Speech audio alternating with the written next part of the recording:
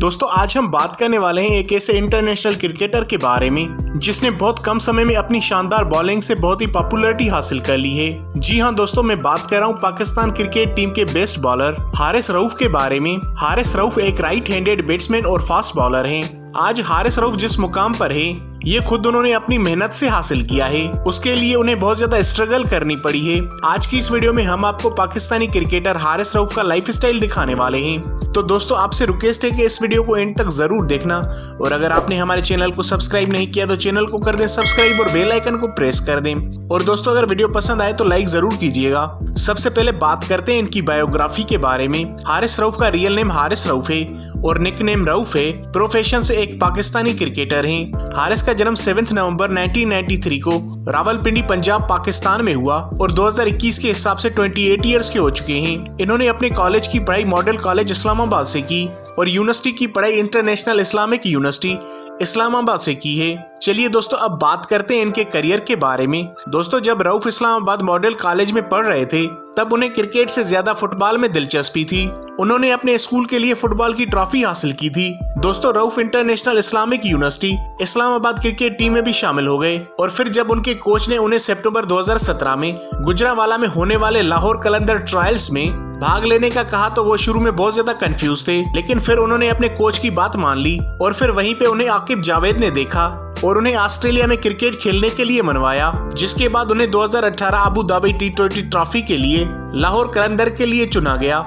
जिससे उन्होंने अपने डोमेस्टिक करियर की शुरुआत की।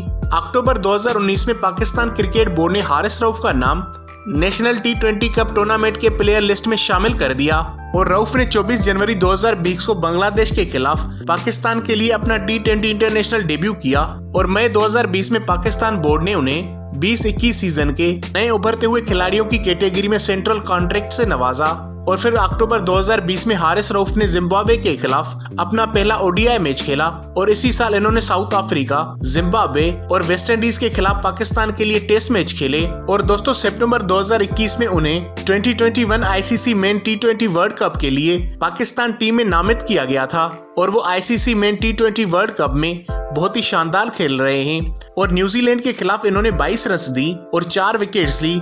वो भी सिर्फ़ चार ओवर में। दोस्तों, हारिस रऊफ की शानदार परफॉर्मेंस के लिए एक लाइक तो बनता है। चलिए दोस्तों, अब बात करते हैं इनके घर के बारे में। तो दोस्तों, मैं आपको बता दूँ कि इनका रावलपिंडी पंजाब में अपना एक शानदार घर है और जहाँ वो अपनी फैमिली के साथ रहते हैं। जैसे कि आप इन पिक्चर्स में देख सकते हैं इनके घर की कुछ झलक। वहीं बात करें इनकी कार कलेक्शन के बारे में तो दोस्तों, इनकी फ़र्स्ट कार है मर्सडीज एस एल आर जिसकी प्राइस 1.20 करोड़ रुपीज़ है। और सेकंड कार है बेंटले कॉन्टिनेंटल जिसकी प्राइस 80 लाख रुपीज़ है। इसके अलावा इनके पास मजदा आर भी है। जिसकी प्राइस 20 लाख रुपीज़ है। चलिए दोस्तों, अब बात करते हैं इनकी इनकम के बारे में। तो दोस्तों, मैं आपको बता दूँ कि हारिस रऊफ एक ओडीआई मैच खेलने के लिए दो लाख रुपए चार्ज करते हैं और एक टेस्ट मैच खेलने के लिए तीन से चार लाख रुपए चार्ज करते हैं और टी ट्वेंटी इंटरनेशनल मैच खेलने के लिए पाँच लाख रुपए चार्ज करते हैं। वही बात करें इनके नेटवर्क के बारे में तो दोस्तों, इनका नेटवर्क बीस करोड़ रूपए है। तो दोस्तों, ये थी हारिस रऊफ की लाइफ स्टाइल वीडियो दोस्तों, अगर आप हारिस रऊफ के फ़ैन है तो इस वीडियो को कर दें लाइक अगर आप इस चैनल पे नए तो चैनल को कर दें सब्सक्राइब और बेल आइकन को प्रेस कर दें,